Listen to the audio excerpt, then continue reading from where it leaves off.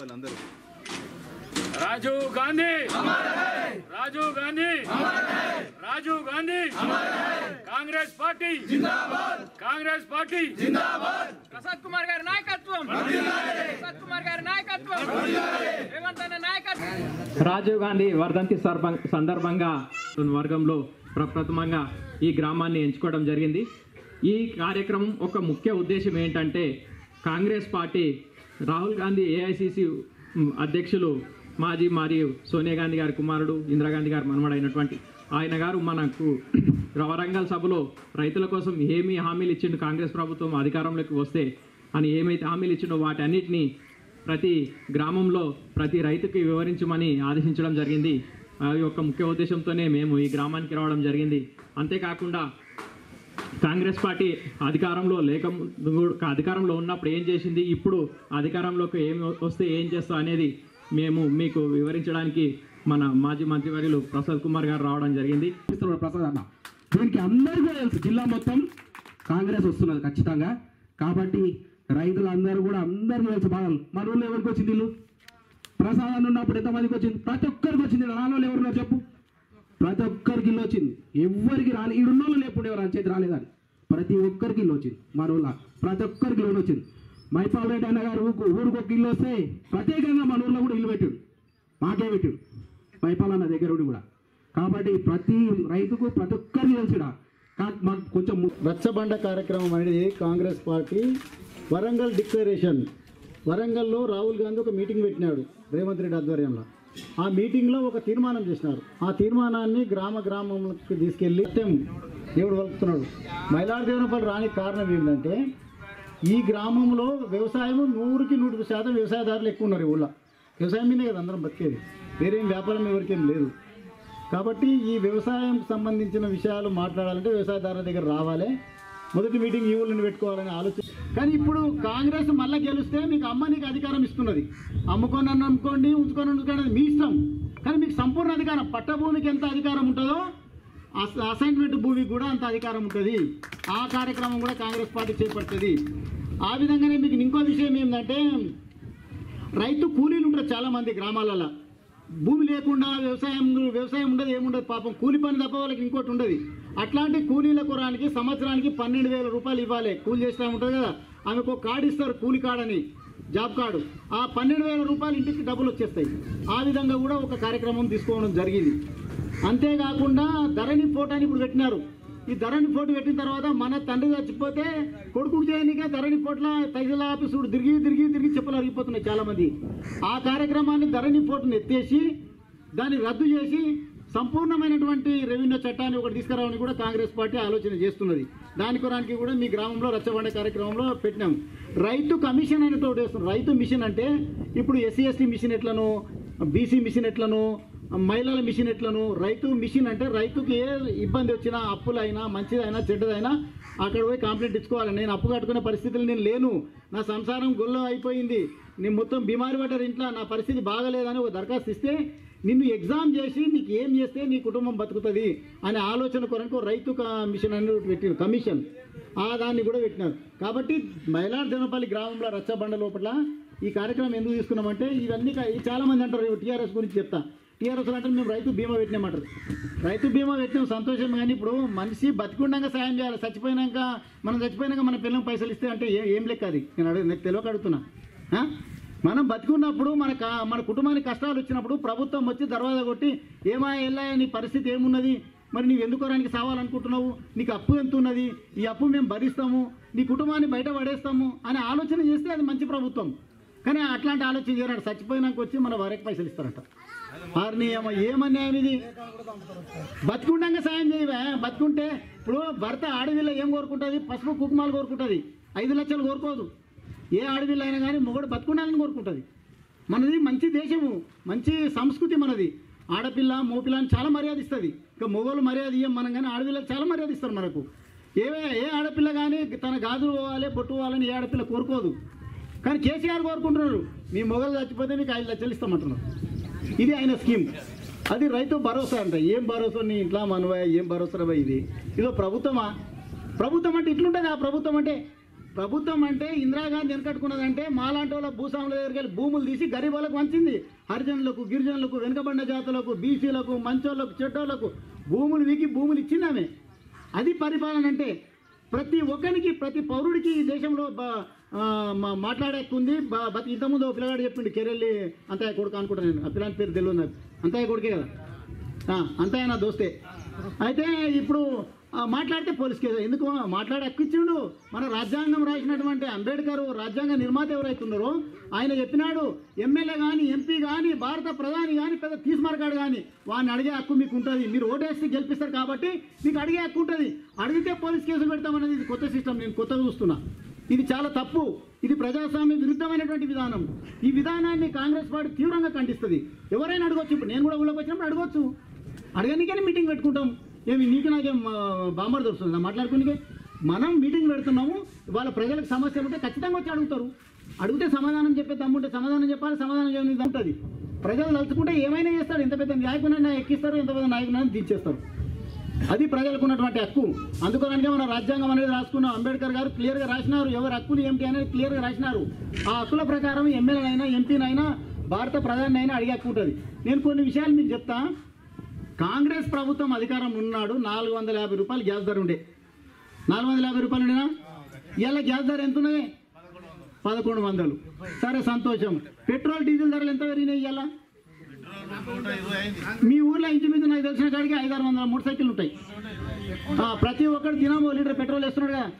Petrol పెంచిరి diesel పెంచిరి gas పెంచిరి ఆడవిల్లలు వంట చేసుకునే గ్యాస్ కూడా పెంచిరి మరి ఎట్లా మీరు అన్ని పెంచుతున్నారు సంతోషం. మరి రైతు ఆదాయం పెంచుతున్నారా? అందుకనైతే రైతు ఆదాయం పెంచడానికి కాంగ్రెస్ పార్టీ ఒక మంచి ప్రణాళిక తీసుకొచ్చింది. ఏం తీసుకొచ్చిందంటే మన ఊళ్ళలో కందులు పండిస్తారు జనరల్ ఎక్కువ. కందులు పత్తే కదా మన దగ్గర ఎక్కువ పండించేది. ఇప్పుడు పత్తి పండించిన ప్రతి రైతు దగ్గరికి వెళ్ళి ఎంత కొనుగోలు చేస్తుందంటే పత్తి పత్తికి ఆరు వేల ఐదు వందల రూపాయలు కొనుగోలు చేస్తుంది. ఒక్క క్వింటాల్కు ఆరు వేల ఐదు వందలు. మంచి సపోర్ట్ కొట్టండి మనం మంచి పని ఇది. ఆరు వేల ఐదు వందలు. మీరు పత్తి పండించి మీ ఇంట్లో కూర్చోండి. కాంగ్రెస్ గెలిచిందనుకో కాంగ్రెస్ వాడు వస్తాడు ఆఫీసర్ని పంపిస్తాడు. మైలారదేవరంపల్లి కానీ సిద్ధులూరు కానీ పుల్మద్ది కానీ కానీ అన్నిట్లో చాలా పెద్ద మేధావులు ఉంటారు మన మైలారదేవరంపల్లిలో అంతా చాలా పెద్ద తెలివిపరులు ఉంటారు. మనం ఏదైతే వస్తుందో అది మొదలే పసిగట్టి పెడతారు వాళ్ళు ఈ గవర్నమెంట్ వస్తుందా రాదా అనేది వాళ్ళకు మొదలు అడిగితే చెప్పేస్తారు.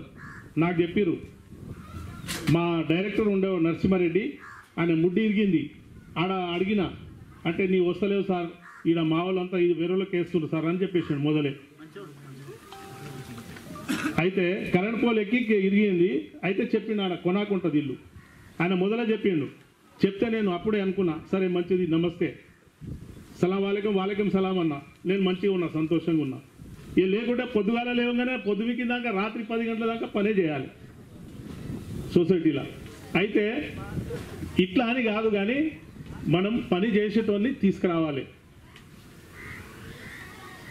కూర్చోనికే చేరలేంది ఈరోజు పెద్ద మీటింగ్ కూడా పెట్టుకోవచ్చు అంత పెద్ద బిల్డింగ్ పెట్టినాం ఏసీఆల ఫస్ట్ కానీ మన వాళ్ళు ఓట్లు వేయలేదు రెండు డైరెక్టర్లు కూడా వేరే వాళ్ళని గెలిపించారు. చాలా సంతోషం. అయితే అట్లా చేయకండి పని తీసుకురండి. డాక్టర్ ఉంటే నార్మల్ డెలివరీ అయితే మొత్తం చీరి పిల్లని తెస్తాడు తీస్తాడు. ఆయన తీసుకొచ్చినాం. ఇద్దరి మధ్యలో మధ్యలోకి వెళ్ళి వెళ్ళి ఇప్పుడు మా మైపాల్ చెప్పినట్ల. నేను మస్తు కష్టపడ్డా కానీ అది శని ఉన్నప్పుడు ఏం చేస్తాం? అయితే ఏదో చేస్తాడేమో ఈయన అని అంటే అన్ని చదువుకున్నాడు అన్ని బాగున్నాయి కానీ ఏడ వేసిన ఎల్లయ్య గొంగడి ఆడనే ఉంది.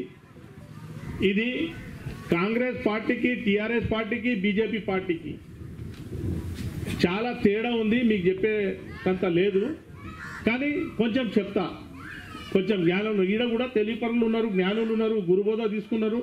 స్వచ్ఛందంగా కొన్ని సత్సంగ వింటారు చాలా బాగా ఉంది ఇక్కడ. నాకు తెలుసు ఫస్ట్ నుంచి కూడా. ఈరోజు మనం అరవై సంవత్సరాలు కొట్లాడి తెలంగాణ రాష్ట్రాన్ని సంపాదించుకున్నాం. సంపాదించుకున్నది మనము బాగుపడదాం మన ఇల్లు బాగుపడుతుంది మన పిల్లల భవిష్యత్తు బాగుపడుతుంది మనం ఇంకా ముంగలికి వెళ్ళాలి అనే ఉద్దేశంతో మనము ఈ గడ్డ మీదకెళ్ళి ఆ రోజు అరవై ఎనిమిదిలో యుద్ధం స్టార్ట్ అయింది. కాంగ్రెస్ గవర్నమెంట్ ఇచ్చిందాక తల్లి సోనియా గాంధీ తెలంగాణను ఇచ్చింది. సోనియా గాంధీ తెలంగాణను ఇచ్చింది. మనము ఈ తాగుబోతు తెలంగాణ తెస్తామని కాదు. మన పిల్లల భవిష్యత్తు మంచిగా ఉంటుంది. మన ఫ్యూచర్కు బిడ్డ అల్లుడు అందరు సుఖ సంతోషాలతో ఉంటామని ఆ ఉద్దేశంతో తెలంగాణ రావడం జరిగింది. కానీ ఈరోజు మనము చాలా బాధలో ఉన్నాము ఎనిమిది సంవత్సరాల నుంచి. ఎందుకంటే మనం అనుకున్నది ఒకటి ఇక్కడ జరిగేది ఒకటి. మనం అనుకున్నది ఒకటి జరిగేది ఒకటి. ఆ రోజు లక్ష రూపాయలు ఏకకాలంలో మాఫీ చే- రెండు లక్షలు ఏకకాలంలో మాఫీ చేస్తామని కాంగ్రెస్ పార్టీ చెప్తే మరి నమ్మలేదు. ఫోర్టీన్లో నమ్మలే. మళ్ళా ఓటు టీఆర్ఎస్కి వేసారు అది వేసిన ఓ ఓ- ఏదైతే వేసిరో ఆ లక్ష రూపాయలు ఐదు సార్లు మాఫీ చేసిర్రు. ఇరవై ఐదు ఇరవై ఐదు ఇరవై ఐదు ఇరవై ఐదు దోవానా దోవానా దోవానా. నేను చైర్మన్ ఉన్నా. అది సొసైటీ బ్యాంకులో ఎవరైతే తీసుకురో వాళ్ళకే కరెక్ట్గా ముట్టినాయి పైసలు. కమర్షియల్ బ్యాంక్ వాళ్ళకు ఆ మిత్తిల కిందనే పోయినాయి. మేము మిత్తి పట్టుకోకుండా రైతుకి ఇచ్చేసినాం ఇచ్చినాం. అదే కమర్షియల్ బ్యాంకులో మిత్తి పట్టుకున్నారు. అయితే ఈసారి లక్ష రూపాయలు ఏకకాలంలో రుణమాఫీ చేస్తా అని చెప్పిండు కేసీఆర్. మరి ఇప్పుడు మూడు సంవత్సరాలు దాటి నాలుగో సంవత్సరంలో అడుగు పెడుతున్నాం. ఇంకా దానికి ఊసు ఎత్తలేరు లక్ష రూపాయల కాడికి. ఇరవై ఐదు ఇరవై లక్ష ఇరవై ఐదు వేలు ఉన్నాయి. ఆ ఇరవై ఐదు వేలు కూడా మొత్తం మాఫీ కాలే. యాభై వేలు రుణమాఫీ చేస్తాడు. యాభై వేలు కూడా మొత్తం మాఫీ కాలే. మరి డెబ్బై ఐదు వేలు కూడా మొత్తం మాఫీ కాలేదు. ఇంకా ఆ రైతులకు ఇంకా మాఫీ చేయాలి ఇంకా డబ్బులు రావాలి. లక్ష రూపాయలు అయితే ఇంకా నోరే ఎత్తలేడు.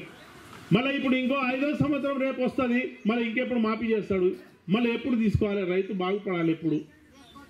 అది ఆలోచన చేయాలి. యాభై ఏడేళ్ళకే మీకు పింఛన్ ఇస్తా అని చెప్పిండు మరి యాభై ఏడేళ్ళకు పింఛన్ ఎంతమందికి ఇచ్చిండు మరి డబుల్ బెడ్రూమ్ ఇండ్లు కట్టిస్తా అన్నాడు. మరి ప్రసాద్ అన్న మంత్రిగా ఉన్నప్పుడు కాబట్టి మనం ఈసారి మరవకుండా ఒక్కసారి మోసపోయినాం రెండోసారి మోసపోయినాం. మూడోసారి మో మోసపోతే మళ్ళీ మనకి మనసులు అన్నారు కాబట్టి మనము దానికి సమాధానం చెప్పి మీరందరూ కూడా రేపు అంతా కాంగ్రెస్ పార్టీకి ఓటేసి అన్నన్ని గెలిపిస్తారని చెప్పేసి నేను కోరుకుంటూ ఈ అవకాశం ఇచ్చిన మీకు అందరికీ పేరు నమస్కారం తెలియజేస్తూ ముగిస్తున్నాను. జై!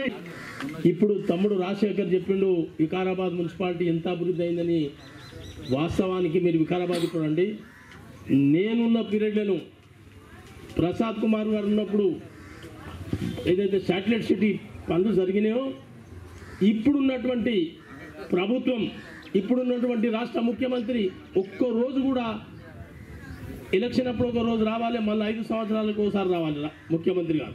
కానీ ఒక్కనాడు వచ్చి అభివృద్ధి కార్యక్రమం జరగలేదు. మస్తు చెప్తున్నారు ఏదో ఒకటి చెప్- కానీ రెండు సార్లు కూడా ఓడిపోతే తప్పకుండా ఈ ప్రాంతంలో ఆయన ఇక్కడనే ఉండి వస్తుంది కాబట్టి ఈ మైలార్దేవరపల్లి ప్రజలకు ముఖ్యంగా ఎవరిని విమర్శించనిగా రాలేదు. మీరు మంచి వాళ్ళని తెచ్చుకుంటే మన ప్రజలకు సేవ తెచ్చుకు తె- చేస్తాడు కాబట్టి ఈ మైలార్దేవరంపల్లి గ్రామ ప్రజలకు ముఖ్యంగా రాబోయే ఎలక్షన్లో కాంగ్రెస్ పార్టీకి ఓటేసి మాకు గెలిపించి ప్రసాద్ కుమార్ ఇప్పుడే చెప్పాడు మంత్రి కావాలి. మాకు మంత్రి కాదు ము- ఉప ముఖ్యమంత్రి కూడా వచ్చేస్తుంది ఎందుకంటే ఆయన ఎస్సీలో ఉన్నాడు కాబట్టి ఇది నా మనసుపూర్వకంగా చెప్తున్నా. ఎందుకంటే ఇప్పుడే కిషన్ నాయక్ చెప్పిన నేను బంగారం గోల్డ్ చేసేసి ఎంత పెద్ద బిల్డింగ్ కట్టేసినట్టు ఈయన కూడా ఉప ముఖ్యమంత్రి కూడా కావచ్చు. ఎందుకంటే ఉప ముఖ్యమంత్రి అంటే మళ్ళీ ఇంకోటి కట్టబెడతాడు కాబట్టి ఇది ఆయన కాయస్ ఉంది ఇక్కడ ప్రజల కాయస్ ఉంది కాబట్టి అప్పుడు ఆరు వందల ఏడు వందల కోట్లు తెచ్చిండు కదా. ఇప్పుడు ఇష్టం ఉన్నన్ని పైసలు తెస్తాడు. మీ రైతు సంఘం అధ్యక్షుడు మా రత్నారెడ్డి చెప్పిండు. ఏమని? ఏడా ఏడ రైతులకు అన్యాయం జరిగితే ఆడ తెల్లాటలకు ఆయన మైపాల్ రెడ్డి ఇద్దరు ఆడనే ఉంటారు. పొద్దుగాల రాగానే పేపర్లు వచ్చేస్తాయి. ఏది ఏమైనా సరే ఈ గ్రామ ప్రజలకు ముఖ్యంగా మంచి వ్యక్తిని ఎన్నుకోండి. ప్రసాద్ కుమార్కు కాంగ్రెస్ పార్టీకి చేకూర్తు ఓటేసి గెలిపిస్తారని నమ్ముకుంటూ నేను సెలవు తీసుకుంటున్నాను. అని మైలార్ దేవరంపల్లిలో రాజీవ్ గాంధీ వర్ధంతి కూడా ఇన్నే చేసుకున్నాము. రచ్చబండ కార్యక్రమం కూడా మైలార్ దేవరంపల్లిలో పెట్టుకోవాలనే ఉద్దేశంతో ఇక్కడికి రావడం జరిగింది. ఈ కార్యక్రమ అధ్యక్షులు వికారాబాద్ పార్టీ అధ్యక్షులు తమ్ముడు రాజశేఖర్ రెడ్డి గారు పెద్దలు సత్యం శెట్టి గారు పెద్దలు కిషన్ నాయక్ గారు పెద్దలు కమాల్ రెడ్డి గారు పెద్దలు నరసింహన్న గారు పెద్దలు రత్నారెడ్డి గారు మరి అడ్వకేట్ రాజశేఖర్ గారు మరి మన మరి పేరు పేరున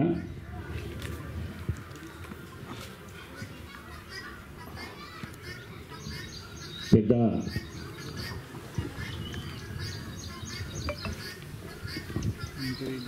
నాయకు నా యొక్క నమస్కారం. మేము రానికి కారణం మాట్లాడిన వక్తలందరూ చెప్పిండ్రు కానీ నేను కూడా చెప్పాలి నా ధర్మం అది. రాహుల్ గాంధీ గారు ఒకటే మెసేజ్ ఏమి ఇచ్చిందంటే పన్నెండేళ్ళ పిల్లగాని నుంచి డెబ్బై ఎనభై ఏళ్ళు ఓటేసే రైతు దాకా ఈ వరంగల్ డిక్లరేషన్ ఏదైతున్నదో వాళ్ళకు అర్థమయ్యే విధంగా చెప్పాలని చెప్పేసి చెప్పి ఇప్పుడు ఎన్నికలు లేవు ఓట్లు లేవు. కానీ మేము ఏం చేస్తాం? రేపు ప్రభుత్వం వస్తే మేము ఏం చేస్తాం? అనేది రైతులకు తెలవాలి అనే ఉద్దేశంతో ఈ వరంగల్ డిక్లరేషన్ చెప్పాలి వాళ్ళకి అర్థమయ్యే విధంగా చెప్పాలని చెప్పి చెప్పింది. మరి ఇంతకుముందు మైపాల్ రెడ్డి అన్న చదివి వినిపించిండు. మళ్ళొక్కసారి అన్నీ చదవలేడు మనకు అవసరం ఉన్నాయో చదివిండు. నేను అన్నీ చదివి ఒకసారి వినిపించి తర్వాత వేరే విషయాలు ఏమైనా ఉంటే చెప్తాను జీవితాలలో వెలుగు నింపేందుకే ఈ డిక్లరేషన్. కాంగ్రెస్ ప్రభుత్వం ఏర్పడిన వెంటనే ఏకకాలంలో రెండు లక్షల రైతు రుణమాఫీ. ఇందిరమ్మ రైతు భరోసా పథకం. భూమి ఉన్న రైతులతో పాటు కౌలు రైతులకు కూడా ఏడాదికి ఎకరాకు పదిహేను వేల రూపాయలు. భూమి లేని ఉపాధి హామీ కూలీలకు ప్రతి ఏడాదికి పన్నెండు వేల రూపాయలు. అన్ని పంటలకు గిట్టుబాటు ధరతో ప- గిట్టుబాటు ధరతో కాంగ్రెస్ ప్రభుత్వం కొనుగోలు చేస్తుంది. గిట్టుబాటు ధర అంటే ఇగో వరి వచ్చేసి రెండు వేల ఐదు వందలు. మొక్కజొన్న వచ్చేసి రెండు వేల రెండు వందలు. మిర్చి వచ్చేసి పదిహేను వేలు. పత్తి వచ్చేసి ఆరు వేల ఐదు వందలు. పసుపు పన్నెండు వేలు. కందులు ఆరు వేల ఏడు వందలు. చెరుకు నాలుగు వేలు. సోయాబీన్ నాలుగు వేల నాలుగు వందలు. జొన్నలు మూడు వేల యాభై రూపాయలు. ఎర్రజొన్నలు మూడు వేల ఐదు వందల రూపాయలు. రైతులకు గిట్టుబాటు ధర తోని కొనుగోలు కాంగ్రెస్ ప్రభుత్వమే చేస్తుందని డిక్లరేషన్లు ఉన్నది. అట్లనే మూతబడిన చక్కెర కర్మాగారం నిజాం షుగర్ ఫ్యాక్టరీని తెరిపిస్తాం. పసుపు బోర్డును ఏర్పాటు చేస్తాం. పసుపు బోర్డు మన దగ్గర లేదు కానీ నిజామాబాద్లో టీఆర్ఎస్ కేసీఆర్ బిడ్డ చెప్పింది. ఇప్పుడున్న అరవింద్ అని ధర్మపురం అరవింద్ అని ఆయన కూడా చెప్పిండు కానీ వాళ్ళతో చాతన అయితలేదు వాళ్ళతో అయితలేదు. కాంగ్రెస్ ప్రభుత్వం వచ్చినాక పసుపు బోర్డు కూడా ఏర్పాటు చేస్తామని చెప్పిండ్రు. అట్లనే పంట నష్టపోతే తక్షణ నష్టపరిహారం అందే విధంగా పటిష్టమైన చర్యలు తీసుకుంటాం. బీమా పథకం కూడా తీసుకుంటాం. మీకు అందరికీ తెలుసు కాంగ్రెస్ ప్రభుత్వం ఉన్నప్పుడు వర్షాల కారణంగానో అతివృష్టితోనో అనావృష్టితోనో పంటలు ఖరాబ్ అయితే ఇమీడియట్గా ఆఫీసర్స్తో సర్వే చేపించేసి ఎకరానికి పదివేల రూపాయలు ఇచ్చే కార్యక్రమం ఉండే మీకు అందరికీ తెలుసు. ఇప్పుడు అది లేదు. ఇప్పుడు అది లేదు. ఉన్నదా? లేదు అది. అయితే అది మళ్ళా మేము పునరుద్ధరిస్తామని చెప్పేసి ఈ డిక్లరేషన్లో చెప్తున్నాడు. మరి అదేవిధంగా రైతు కూలీలు కౌలు రైతులు రైతులకు రైతు బీమా పథకం కూడా వర్తింపజేస్తాం. రైతు కూలీలకు రైతు కౌలు రైతులకు రైతు బీమా పథకం చచ్చిపోతే ఐదు లక్షల రూపాయలు ఇస్తున్నాడు చూడు దాన్ని వాళ్ళకు కూడా వర్తింపజేస్తామని ఈ డిక్లరేషన్ చెప్తున్నది. మహాత్మా గాంధీ జాతీయ ఉపాధి హామీ పథకము వ్యవసాయానికి అనుసంధానం. ఇది ఎన్నో ఏళ్ళ కోరిక ఇది రైతులకు. కాంగ్రెస్ ప్రభుత్వం ఉన్నప్పుడు కూడా దీన్ని పెద్ద ఎత్తున డిమాండ్ ఉండే. ఇది ఇంద్రమ్మ ఉపాధి పథకం తెచ్చింది కూడా కాంగ్రెస్ ప్రభుత్వం. దీనికి చట్టం తీసుకొని వచ్చినాం. దీన్ని మార్చడానికి వీలు లేదు. నరేంద్ర మోడీ కాదు నరేంద్ర మోడీ తాత వచ్చినా దీన్ని మారవలేడు. కానీ ఇప్పుడు మాత్రం ఇది మిస్యూజ్ అవుతుంది. కరెక్ట్గా దాని పైసలు ఉపయోగిస్తలేరు. వీళ్ళు వాడుకుంటుండ్రు. రాష్ట్రాలు ఇప్పుడున్న కేసీఆర్ ఉపాధి పైస- పైసలు మొత్తం వేరే దానికి వాడుకుంటున్నాడు. అది నేను మళ్ళీ చెప్తా ఈ డిక్లరేషన్ అయినాక చెప్తా. మరి అట్లనే ధరణి పోర్టల్ రద్దు ధరణి స్థానంలో అందరు భూములకు రక్షణ కల్పించే సరికొత్త రై రెవెన్యూ వ్యవస్థను తీసుకొని వస్తామంటున్నాడు. ధరణి పోర్టల్ రాష్ట్ర ముఖ్యమంత్రి ఎందుకు తెచ్చాడు దీన్ని అంటే దాంట్లో ఒక కాలం తీసి పడేసిండు. ఏం కాలం అది? పాతకాలంలో నక్సలైట్లు ఉండరు నక్సలైట్లు ఉన్నప్పుడు ఉత్తర తెలంగాణ దిక్కు అంతా దొరలకు వేల ఎకరాల భూమి ఉంది దొరలను బెదిరిస్తే ఆ భూములు విడిచిపెట్టేసి వాళ్ళు హైదరాబాద్ వచ్చి బతికిండ్రు. బతికి కూడా కోటీశ్వరులు అయిపోయారు వాళ్ళకి ఎట్లా కావాలో తెలుసు వాళ్ళు అవుతారు అయ్యింది అయిన తర్వాత ఈ ముఖ్యమంత్రి వచ్చినాక ఆ దొరలకు సాయం చేయాలి. మళ్ళీ ఈ దొరకు కూడా భూములు తీసుకునాలే ఉద్దేశంతో ఈ కౌ ఆ కాలం తీసేసి ధరణి పోర్టల్ తెచ్చి దగ్గర దగ్గర ఏడు లక్షల ఎకరాల భూమి రైతుల దగ్గరికి వెళ్ళి తీసుకొని వాళ్ళకు పట్టాలు చేసి ఇచ్చేసి. ఎవరికి? ఎవరైతే పారిపోయి వచ్చిండ్రో వాళ్ళందరికీ మళ్ళా భూములు చేసి ఇచ్చేసింది దాన్నే దాన్ని జయనికనే ఈ ధరణి పోర్టల్ తీసుకొని వచ్చింది ఈ ధరణి పోర్టల్ తెచ్చినాక కలెక్టర్లు రంగారెడ్డి జిల్లా కలెక్టర్ కానీ వికారాబాద్ జిల్లా కలెక్టర్ కానీ చాలా పైసలు పేద రైతులకెళ్ళి తీసుకొని పోతున్నారు. మన వికారాబాద్ ప్రాంతంకి వెళ్ళి అయితే మన కలెక్టర్ మంది అనుకుంటున్నారు చాలామంది చెప్తున్నారు. ఒక ఎకరానికి మూడున్నర లక్షల రూపాయలు తీసుకొని సక్సేషన్ కానీ మొటేషన్ కానీ ఇంకేదైనా చిన్న చిన్న ప్రాబ్లమ్స్ ఈ ధరణి పోర్టల్లో ఉంటే ఆమె తీసుకొని చేస్తున్నది. దినం యాభై లక్షల రూపాయలు వికారాబాద్కి వెళ్ళి హైదరాబాద్ తీసుకుపోతున్నది అని చెప్తున్నారు. అది ఎంతవరకు నిజమో ఎంతవరకు అద్భుతమో తెలియదు కానీ తీసుకొని పోతున్నది అయితే వాస్తవం. ఎందుకంటే ఒకడు ఉరివోసుకునికే పోయిండు చెట్టుకు. ఒక మనిషి ఉరివోసుకునికే పోయిండు. చాలామంది మాట్లాడుకుంటున్నారు. నేను ఇంతకు ముందు కూడా ఛాలెంజ్ చేసిన ఈ ప్రభుత్వానికి యాభై లక్షలు తీసుకుపోతున్న కలెక్టర్ను అవినీతి ఏసీబీ అధికారులు ఏం చేస్తున్నారు? సిబిఐ అధికారులు ఏం చేస్తున్నారు?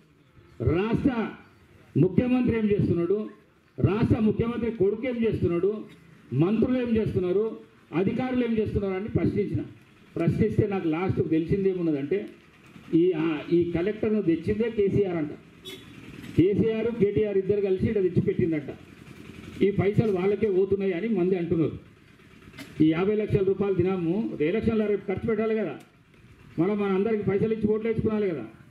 దానికోసమే ఈ కలెక్టర్లు అందరు పైసలు జమ చేస్తున్నారు. హైదరాబాద్ కలెక్టర్ కానీ రంగారెడ్డి కలెక్టర్ కానీ వికారాబాద్ కలెక్టర్ కానీ తీసుకొని పోతున్నారు అనే మాట మాత్రం వాస్తవం ఉన్నది. తప్పకుండా ఈ ధరణి కాంగ్రెస్ ప్రభుత్వం రాగానే ధరణి పో ధరణి మొత్తం రద్దు చేసి ఎట్లయితే రైతులకు అనుకూలం ఉంటుందో ఆ రెవెన్యూ వ్యవస్థను తీసుకొని వస్తామని రాహుల్ గాంధీ గారి డిక్లరేషన్ లోపల ఉన్నది. అట్లనే పోడు భూము భూముల రైతులకు అసైన్డ్ భూము రైతులకు లబ్ధిదారులకు క్రయ విక్రయాలతో అన్ని యాజమాన్య హక్కులు కల్పిస్తాం. పోడు భూములు మరి అదేవిధంగా అసైన్డ్ భూములు. ఇందిరాగాంధీ గారు ఉన్నప్పటి నుంచి అసైన్డ్ భూములు ఇస్తూనే ఉన్నాం. నేను కూడా ఇచ్చిన వచ్చినాక. ఆరో విడత ఏడో విడత నేను కూడా ఎంత ఉంటే అంత ఇచ్చిన. మూడు ఎకరాలు ఉంటే మూడు ఎకరాలు రెండు ఉంటే రెండు ఐదు ఉంటే ఐదు ఇచ్చిన. ఇవాళ అమ్ముకుంటే మూడు ఎకరాలు అమ్ముకుంటే ఒకవేళ కోటి ఇరవై లక్షల రూపాయలు వస్తాయి. ఈ దేశంలో ఈ ప్రపంచంలో ఏ ప్రభుత్వం అన్నా ఒక మనిషికి ఒక రైతుకు భూమి అమ్ముకునే అవకాశం కల్పించి కోటి ఇరవై లక్షల రూపాయలు ఇచ్చే ప్రభుత్వం మీద ఉన్నదా? రాహుల్ గాంధీ డిక్లరేషన్లో చెప్తున్నాడు యాజమాన్య హక్కులు కల్పిస్తాం మేమని చెప్తున్నాడు. మరి అదేవిధంగా నకిలీ విత్తన విత్తనాలు పురుగుల మందుల విక్రయ విక్రయాలపై ఉక్కుపాదం వారి ఆస్తులు జప్తు చేసి రైతులకు నష్టపరిహారం బాధ్యులపై పీడీ యాక్ట్ కేసులతో కఠిన చర్యలు తీసుకుంటాం. మరి నిర్దిష్ట సమయాన ప్రణాళికతో అవినీతి రహిత పెండింగ్ ప్రాజెక్టులను పూర్తి చేసి ప్రతి ఎకరానికి నీరు అందిస్తాం రైతు క- రైతు కమిషన్ రైతు సమస్యల శాశ్వత పరిష్కారం కోసం చట్టబద్ధమైన అధికార అధికారాలతో ఏర్పాటు చేస్తాం. లాభసాటి వ్యవసాయమే లక్ష్యంగా తెలంగాణ వాతావరణ పరిస్థితులను బట్టి అనువుగా నూతన వ్యవసాయ విధానాన్ని పంటల ప్రణాళికను తయారు చేసి రైతులకు అందజేస్తాం. రైతును రాజును చేయడమే మా లక్ష్యం. రాహుల్ గాంధీతోనే ఇది సాధ్యం. ఇది వరంగల్ డిక్లరేషన్. దీన్ని మీకు అందరికీ చెప్పనీకనే వచ్చినాం. మీరు నమ్ముండి కాంగ్రెస్ పార్టీని. స్వర్గీయ రాజశేఖర రెడ్డి ఒకటే మాట చెప్తుండే ఎప్పుడైనా కూడా. మాట ఇస్తే మాత్రం మడమ దింపం మాట ఇచ్చింది పూర్తి చేస్తామని చెప్తుండే. ఇప్పుడు కూడా రేవంత్ రెడ్డి ఆధ్వర్యంలో కాంగ్రెస్ రోజు రోజు ఈ రాష్ట్రంలో పుంజుకుంటున్నది. కాంగ్రెస్ ఏదైనా మాట ఇచ్చిందంటే ఆ మాట వెనుకకు తీసుకోదు తప్పకుండా దాన్ని ఫుల్ఫిల్ చేస్తుంది. కానీ రెండు వేల పద్దెనిమిదిలో కూడా మీకు ఈయన కాబట్టి చెప్పిపోయినా. జబర్దస్త్ మేనిఫెస్టో టీఆర్ఎస్ కంటే కూడా మంచి మేనిఫెస్టో చెప్పిపోయినా నేను. కానీ నమ్మలే. అప్పటికి ఇంకా కేసీఆర్ మీద ఉన్న మోజు పోలే. కేసీఆర్ మీద ఉన్న మోజు పోలే కేసీఆర్. మేమేం చెప్పినాం? రెండు వేల పద్దెనిమిదిలో ఇల్లు కట్టుకుంటే ఎస్సీలకు ఎస్టీలకు ఆరు లక్షల రూపాయలు ఇస్తామని చెప్పినాం. అదే వేరే కులస్తులకు అయితే ఐదు లక్షల రూపాయలు ఇస్తామని చెప్పినాం. ఇల్లు కట్టుకునే క్యాష్ నగదు. ఒక రూమ్ కట్టుకుంటామంటే రెండు లక్షల రూపాయలు ఇస్తామని చెప్పినాం. రెండు లక్షల రూపాయలు రుణ రుణమాఫీ ఏకకాలంలో చేస్తామని అప్పుడు కూడా చెప్పినాం. మా మహిళా సోదరి మనులకు ఆరు గ్యాస్ సిలిండర్లు ఫ్రీ ఇస్తామని సిలిండర్లు ఫ్రీ ఇస్తామని చెప్పినాం. సన్న బియ్యము ప్రతి మనిషికి ఆరు కిలోలు సన్న బియ్యం ఇస్తామని చెప్పినాం. డాక్రా మహిళలకు పది లక్షల రూపాయలు ఇస్తామని చెప్పినాం. వితౌట్ ఇంట్రెస్ట్ పది లక్షల రూపాయలు నగదు ఇస్తామని చెప్పినాం. మరి అదేవిధంగా రైతుల విషయానికి వస్తే రెండు లక్షలతో పాటు కరెంటు బిల్లులు మొత్తం మాఫీ చేస్తామని చెప్పినాం. మరి ఇన్ని చెప్తే కూడా నమ్మలేని పరిస్థితి ఆ రోజు ఉండే. పర్వాలేదు రెండు వేల పద్దెనిమిదిలో కాంగ్రెస్ను ఓడగొట్టింది కానీ ఓడగొట్టిన తర్వాత ఇప్పుడు మూడు సంవత్సరాలు ఆ ఐదు సంవత్సరాల నుంచి ఏం చేస్తున్నదో ప్రతి మనిషికి తెలుసు. టీఆర్ఎస్ పార్టీలో తిరిగే మనిషికి కూడా తెలుసు. మేము నష్టపోతున్నాం. మా రాష్ట్రం నష్టపోతున్నది. మా ఊరు నష్టపోతున్నది. మా ప్రాంతం నష్టపోతున్నది అని తెలుసు. కానీ మళ్ళీ మూడోసారి తప్ప మీరు నష్టపోకుండా జాగ్రత్తగా తీర్మానం మళ్ళన్న న్యూస్ చూస్తారా ఎవరన్నా? చూడండి ఆయన న్యూస్ చూడండి ఆయన చెప్తాడు. ఓటు ఏనికే పోయేటప్పుడు మూడు రోజుల నుంచి మందు బంద్ చేయమంటున్నాడు మూడు రోజుల నుంచి మందు బంద్ చేయమంటున్నాడు. ఓటేసే రోజు స్నానం చేసి కొత్త బట్టలు వేసుకొని ఎట్లయితే గుడికి పోతామో చర్చి పోతామో మస్జిద్ పోతామో ఆ విధంగా పోయి ఓటేసిరండి అని చెప్తున్నాడు. అట్లా ఓటేస్తే నిజమైన వ్యక్తికి నిజమైన ప్రభుత్వం వస్తుంది మిమ్మల్ని ఆదుకునే ప్రభుత్వం వస్తుంది అని చెప్తున్నాడు. మనం ఏం చేస్తున్నాం? ఎవరు పైసలు ఇస్తే ఎవరు మందు దాపితే వాళ్ళకు ఓటేస్తున్నాం. ఇగో ఈరోజు ఈ పరిస్థితి రాష్ట్రంలో ఉన్నది. మొత్తం గుట్టలు గుట్టలు అమ్ముకున్నారు. మొత్తం ఇసుక అమ్ముకున్నారు. నీళ్ళు అమ్ముకున్నారు. నిధులు మొత్తం కథమైపోయినాయి. ఉద్యోగాలు లేవు. ఏ మాట మీద లేడు. తండ్రి అబద్ధాల అబద్ధాలుడు అంటే తండ్రి కంటే ఎక్కువ కొడుకు అబద్ధాలు మాట్లాడుతున్నాడు. నేనే నేను కొద్ది పరిశాన్ అవుతున్నా. ఇరవై నాలుగు గంటలు నా దగ్గరనే ఉంటుండే కొడుకు. కొడుకుకు నేను ఎన్నో పైసలు ఇచ్చిన ఎన్నో జీవోలు ఇచ్చిన కానీ ఇవాళ ఆయన పరిస్థితి ఆయన ఫ్రస్ట్రేషన్ చూస్తే నేను కొద్ది పరిచయం అవుతున్నా. అమెరికాలో చదివచ్చుండా లేకుంటే ఏమన్నా ఏమన్నా వేరే దగ్గర చదివచ్చుండా అనే అనుమానం కూడా వస్తున్నది. చాలా వల్గర్గా మాట్లాడుతున్నాడు. ఏం మాట్లాడుతున్నాడో అర్థమయ్యే పరిస్థితి లేదు. ఇది ఎందుకు వస్తున్నది అంటే అవినీతి చాలా పెద్ద ఎత్తున జరిగింది ఈ రాష్ట్రంలో. ఈ రాష్ట్ర సంపదన దోసుకున్నారు వాళ్ళ మొత్తం కుటుంబం దోసుకున్నది. బయట పోయి పెట్టేచ్చారు పైసలు మొత్తం బయట కొడుకు తిరుగుతున్నాడు బయట పెట్టడానికే తండ్రి కూడా తిరుగుతున్నాడు అక్కడక్కడ. తండ్రి ఏమో బంగారు తెలంగాణ చేసేసిన ఇక బంగారు భారతదేశం చేస్తా అంటున్నాడు. బంగారు తెలంగాణ చేసిన అంటే బంగారు మైలారు దేవరపల్లి అయ్యిందా? ఏమైనా అయ్యిందా దేవరంపల్లి? దేవరంపల్లిలా బంగారు దేవరంపల్లి ఏమన్నా అయిందా రోడ్లు అయినాయా? అండర్ గ్రేనేజ్ అయిందా? మొత్తం అందరు మనుషులంతా సంతోషంగా ఉన్నారా? ఎనిమిది వేల మంది చచ్చిపోయారు ఇప్పటిదాకా. ఎనిమిది ఏళ్ళల్లో ఎనిమిది వేల మంది. యాభై ఏళ్ళకు పెన్షన్ ఇస్తా అంటివి. అన్ని అన్ని తీసుకుంటూ జిరాక్సులు తీసుకుంటూ పెట్టుకుంటూ ఇవాళ దాకా పెన్షన్ లేదు.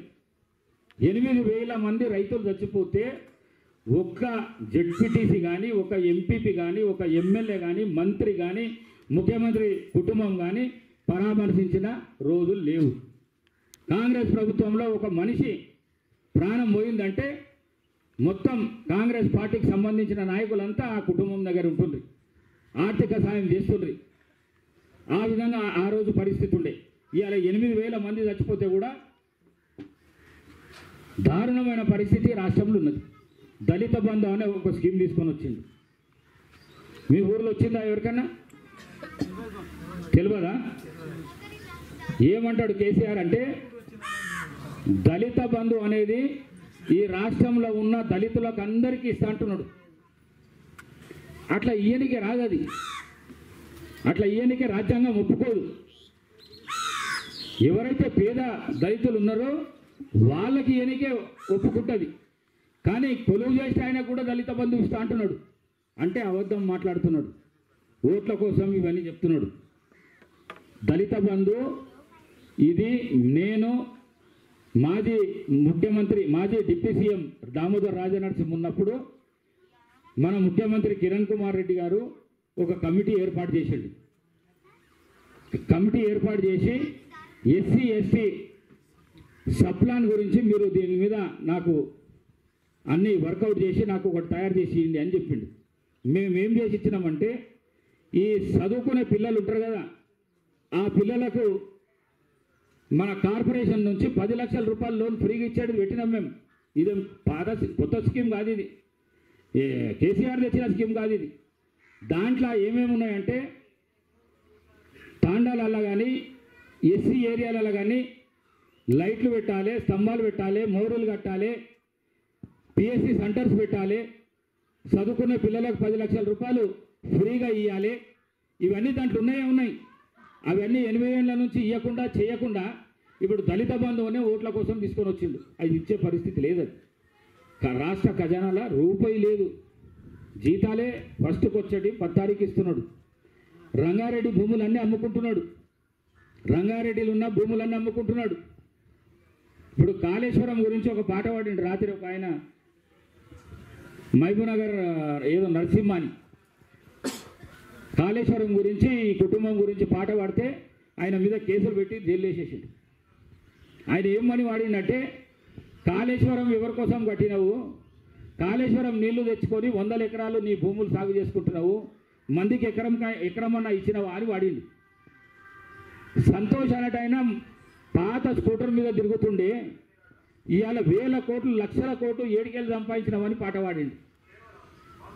కేసీఆర్ కేసీఆర్ బిడ్డ కేసీఆర్ కొడుకు కేటీఆర్ అమెరికాలో బాత్రూమ్లు కడుగుతుండే ఇంకోటి చేస్తుండే ఇంకోటి చేస్తుండే లేకుంటే అది ఏమంటారు దాన్ని? మెక్డొనాల్డ్స్ ఆ డబల్ రొటీలు తినే దాంట్లో పనిచేస్తుండే ఇవాళ లక్షల కోట్ల రూపాయలు ఏడికలు వచ్చాయని పాట పాడింది. కవితకు ఉండనికి ఇల్లు లేకుండే ఆమె చెప్పింది ఆమె ఇంటర్వ్యూలో చెప్పింది మాకు ఇల్లు లేదని. మాకు ఇల్లు లేదు మాకు తిండికే తిండి లేదని చెప్పింది. ఇవాళ లక్షల కోట్లు ఏడికెళ్ళి వచ్చినాయని పాట పాడింది. పాట పాడితే తీసుకొని పోయి జైలేసి రేవంత్ రెడ్డి అన్నాడు పాటలు పాడితే తప్పైతే నన్ను నేను కూడా ఆ పాట పాడతా నన్ను నా మీద కూడా కేసులు పెట్టి జైలు వేయండి అని చెప్తున్నాడు. మరి ఈ విధంగా రాక్షస ప్రభుత్వం నడుస్తున్నది. ఇక లోకల్ విషయానికి వస్తే ఇక ఆయన మీద నేను మాట్లాడితే మంచిగా ఉండదు చాలా చిన్నోడు ఆర్ అనుభవం లేనోడు. ఇప్పుడున్న ఎమ్మెల్యే చాలా చిన్నోడు అనుభవం లేనోడు. ఈ వికారాబాద్లో ఉన్న పేర్లు ఊర్ల పేర్లు ఒకవేళ ఆయన చెప్పిండు అనుకో నేను వెళ్ళిపోతా రాజకీయాల్లోకి వెళ్ళి వెళ్ళిపోతా. ఊర్ల పేర్లు చెప్తే చాలు. లీడర్ల పేర్లు అయితే తెలియదు ఊర్ల పేర్లు చెప్తే చాలు. అనుభవం లేదు ఆయనకు. డైరెక్ట్ వచ్చిండు. డాక్టర్కి వెళ్ళి ఎమ్మెల్యే అయిపోయింది ఎమ్మెల్యే అయిపోయినాక గర్వం పెరిగిపోయింది. కళ్ళు నెత్తి మీదకి వచ్చేసినాయి. నెత్తి మీదకి వచ్చి అభివృద్ధి చేసే దగ్గర అభివృద్ధి చేయకుండా సంపాదించుకునే పనిలో పడ్డాడు పాపం అందరూ. ఇక ఆయన ఎంబడి ఉన్న వాళ్ళంతా రియల్ ఎస్టేట్ చేసేటోళ్ళు వాళ్ళు వీళ్ళు వాళ్ళు వీళ్ళు ఉన్నారు. మళ్ళీ రోజు పొద్దుగా లేచి ఆయన పని ఆయనకు ఉన్నది మళ్ళీ. ఓ లక్ష లక్షన్నర రెండు లక్షలు వేసుకో జేబులు వేసుకున్నాక వెళ్తాడు వెళ్ళి మళ్ళా మన కోసం తిరిగాడు. మీతో నేనని ఒక ప్రోగ్రాం పెట్టుకొని తిరుగుతున్నాడు. ఆయనకి ఎంత సిగ్గు అనిపిస్తలేదో నాకు అర్థమవుతలేదు ఒక్క ఊరిలో ఒక లక్ష ఇవ్వకుండా మీతో నేనని దేనికి తిరుగుతున్నావు నువ్వు సీఎం రిలీఫ్ ఫండ్ చెక్ ఇచ్చుకుంటూ తిరుగుతున్నాడు. కళ్యాణ వస్తు చెక్కులు ఇచ్చుకుంటూ తిరుగుతున్నాడు. మాకు మేము కాంగ్రెస్ వాళ్ళం మంత్రులం ఎమ్మెల్యేలం మేము ఎప్పుడు ఇవ్వాలి మా జడ్పీటీసీ ఎంపీపీలు ఇవ్వాలి ఎంపీటీసీ కూడా ఇవ్వాలి చెక్కులు. ఎంఆర్ఓలు ఇస్తున్నారు సర్పంచులు ఇస్తున్నారు మరి ఈ కార్యక్రమం పెట్టి మీతో నేనని సిగ్గు లేకుండా తిరుగుతున్నాడు ఆయన. చాలా బాధ అనిపిస్తున్నది. నేను ఆయనతో నా నేను నేను ఒకటే రిక్వెస్ట్ ఏం చేస్తున్నా అంటే నేను ఉన్నప్పుడు మెడికల్ కాలేజ్ ఫైలు నీ ముఖ్యమంత్రి ఆఫీస్లో ఉన్నది ఆ దాన్ని మీద సంతకం పెట్టుకొని వచ్చి కాలేజ్ తీసుకురా ఆయన గుట్ట మీద కాలేజ్ తీసుకురా. అప్పుడు సంతోషిస్తాం నీకు నువ్వు చేసిన పనికి అని నేను అంటున్నా. నేనేమంటున్నా అంటే రెండు వేల మూడు వందల కోట్లు శాటిలైట్ కోసము స్వర్గీయ జైపాల్ రెడ్డి గారు తీసుకొని వచ్చిండు. దాంట్లో ఇంకా రెండు వేల కోట్లు రావాల్సి ఉన్నాయి. నీ ముఖ్యమంత్రి కాళ్ళు మొక్కి నీ ముఖ్యమంత్రిని ఢిల్లీ తీసుకుపోయి ఎట్లన్నా నరేంద్ర మోడీ కాళ్ళు మొక్తనే ఉన్నాడు కదా కేసీఆర్. మళ్ళా మొక్కిపిచ్చి ఆ రెండు వేల కోట్లు తీసుకురా అప్పుడు హర్షిస్తామని చెప్తున్నా. మా మీతో నేను ప్రోగ్రాం ఏం తిరుగుతాను? అభివృద్ధి చేసే అభివృద్ధి చేసే కార్యక్రమాలు చెయ్యి. శాసనాలు చేసే కార్యక్రమాలు చెయ్యి. నువ్వు సర్పంచ్ కంటే అధ్వానంగా చేస్తున్నావు నువ్వు. సర్పంచ్ చేయని పనులు చేస్తున్నావు. పాపం ఇవాళ టీఆర్ఎస్ వాళ్ళు బతుకుతున్నారంటే టీఆర్ఎస్ పార్టీ మీద లేకుంటే టీఆర్ఎస్ పైరవీల మీద లేకుంటే టీఆర్ఎస్ ఇచ్చే పనుల మీద బతుకులేరు. దేవుడు ఏమో ఏం చేసిండో ఏమో కానీ ఆ రియల్ ఎస్టేట్ తెచ్చిపెట్టిండు దాంతో బతుకుతున్నారు చూడాలి అది గిట్ట లేకుంటే తెలుస్తుండే సంగతి. కేసీఆర్కు తెలుస్తుంటే లీడర్లకు అందరికీ తెలుస్తుంది అది వచ్చి భూముల రేట్లు ఎక్కువైపోయి రియల్ ఎస్టేట్లో సంపాదించి అవి మర్చిపోతున్నారు వాళ్ళు. మరి ఈ విధంగా ఈ ప్రభుత్వం చేస్తున్నది. రైతుల గురించి కాంగ్రెస్ ప్రభుత్వమే ఏం చేసినా మేలు చేసినా ఎప్పుడు ఏ చేయాలనుకున్నా కాంగ్రెస్ ప్రభుత్వమే చేస్తుంది కాబట్టి రేవంత్ రెడ్డి నాయకత్వం లోపట రేవంత్ రెడ్డి నాయకత్వం లోపట తప్పకుండా కాంగ్రెస్ పార్టీ అధికారంలోకి వస్తున్నది. రైతులను పట్టించుకుంటాం పేదలను పట్టించుకుంటాం. సంక్షేమ కార్యక్రమాలు పెద్ద ఎత్తున చేసే కార్యక్రమాలు చేస్తాం. ఎవరైతే నిరుద్యోగ పిల్లలు ఉన్నారో వాళ్ళకి ఇమీడియట్గా ఈయన చెప్పిండు రెండు లక్షల చిల్లర ఉద్యోగాలు ఉంటే తొంభై ఆరు వేలు ఎనభై ఆరు వేలు వేసిండు పదివేలు దాంట్లో కట్ చేసిండు. ఇప్పుడు వేసే పదివేల ఉద్యోగాలే. అవి కూడా ఎలక్షన్ దాకా రావు. దాంట్లో కేసు వేపిస్తాడు ఎలక్షన్ దాకా రాకుండా చేస్తాడు. పైసలు లేవు ఇప్పుడు ఉద్యోగాలు కొత్త ఉద్యోగాలు ఇవ్వంటే వాళ్ళు జీతం ఇవ్వాలి కదా. జీతం ఇయ్యనికే ఉన్న జీతాలు ఇయ్యనికనే పైసలు లేవు. కొత్త వాళ్ళకి వెళ్ళి తెచ్చిస్తాడు. అందుకే ఇది గుంజుకొని పోతాడు. ఏడాదిగా ఎలక్షన్ దాకా గుంజుకొని పోతాడు. కానీ కాంగ్రెస్ వచ్చినాక మాత్రం తప్పకుండా రాష్ట్రంలో ఎన్ని ఖాళీలు ఉన్నాయో రెండు లక్షల ఉద్యోగాలు పిల్లలకు ఇచ్చే కార్యక్రమం చేస్తాం. ఒకవేళ అది లేట్ అయ్యేటట్టుంటే వాళ్ళకి ఇచ్చే మూడు వేల రూపాయలు ఏదైతున్నదో నిరుద్యోగ వృత్తి అది తప్పకుండా నెల నెల వాళ్ళకి ఇచ్చే కార్యక్రమం చేస్తుంది. వాళ్ళని ఆదుకుంటాం. ఇవాళ తెలంగాణ వచ్చిందంటే పిల్లలతోనే వచ్చింది. పన్నెండు వందల మంది పిల్లలు చచ్చిపోతే ఆమె మనసు చెలించే సోనియా గాంధీ మనసు చెలించి ఈ తెలంగాణ రాష్ట్రాన్ని ఇస్తే దాని లాభం మొత్తం కేసీఆర్ కుటుంబం ఒక్కడే పొందుతున్నాడు అనేది మీరు అందరు తెలుసుకోవాల్సిన విషయం. తీర్మానం మల్లన్న నిన్న లెక్కలేసి చూపించిండు. వెయ్యి రూపాయలు పెన్షన్ రెండు వేల రూపాయలు పెన్షన్. ఐదు వేలు రైతు బంధు. నలుగురు ఇంట్లో మొగోళ్ళు. ఒక్క వాటర్ బాటిల్కు రెండు వందల రూపాయలు. వాటర్ బాటిల్ తయారైంది రెండు ఇరవై రూపాయలు. ఒక ఒక్క దాని దగ్గర ఒక్క ఒక్క వంద ఎనభై రూపాయలు మిగులుతున్నాయి. నాలుగుటికి నాలుగు వందలు నాలుగు ఎనిమిదిలు ముప్పై రెండు. అంటే ఎన్ని? ఏడు? ఏడా ఏడు వందల ఎనభై ఇంటూ మూడు ఏడాది? అయితే ఏం అట్లా లెక్కలు ఎందుకు చెప్తున్నాడు అంటే మీ పైసలు మీకు కొన్ని ఇచ్చి మిగిలినాయని వాడే తీసుకుంటున్నాడు అని చెప్తున్నాడు లెక్కలు. మీకు తాగిపిస్తున్నాడు పండబెడుతున్నాడు మీ మీ దగ్గరనే పైసలు తీసుకుంటున్నాడు. మళ్ళీ ఆయన లాభం పొందుతున్నాడు. ఇక అది వ్యక్తిగత ఇప్పుడు కలెక్టర్ కలెక్టర్ది మరి ఈ విధంగా మోసపోతున్నాం. దయచేసి మరొకసారి మోసపోయే కార్యక్రమం చేయకండి. బాగా ఆలోచించండి. ఇంతకుముందు కిషన్ అన్న చెప్పిండు మళ్ళా మైపాలన్న కూడా ఈ ఊరు మీద మంచి ఇది ఉన్నది మా సేటుకు కూడా ఉన్నది. ఈ ఊరులు అనుకుంటే ఒక్క దిక్కే చేస్తారు ఒక్క దిక్కే చేస్తారని చేసి ఊరంతా ఒక సైడ్గా ఆలోచన చేసి మంచి వ్యక్తికి ఓట్లేసి గెలిపించే ప్రయత్నం చేయాలని చెప్పేసి మీ అందరితో కోరుకుంటూ ఇంకా పెద్ద మేనిఫెస్టో ఉన్నది మాది ఇది ఒక్కటి రైతుల కోసం ఉన్నది. అట్లనే ఇంకా మేనిఫెస్టో తయారవుతుంది ఎప్పుడు ఏ తయారైనా కూడా మైలారదేవపల్లికి వచ్చి మీ అందరికీ చెప్పే కార్యక్రమం చేస్తా. తప్పకుండా మీ ఆశీర్వాదంతో ఇంతకుముందు చెప్పినట్ల ఎమ్మెల్యే అయితా మంత్రి అయితా ఈ ఈ వికారాబాద్ ప్రాంతాన్ని చాలా అభివృద్ధి చేస్తా.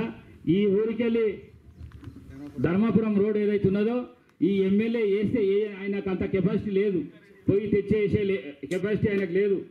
కాంగ్రెస్ ప్రభుత్వం రాగానే ఫస్ట్ పని ఈ ఊరికి వెళ్ళి ధర్మాపురం రోడ్ వేసే పని నా పని అని చెప్పేసి మీ అందరితో తెలియజేసుకుంటూ సెలవు తీసుకుంటున్నాను.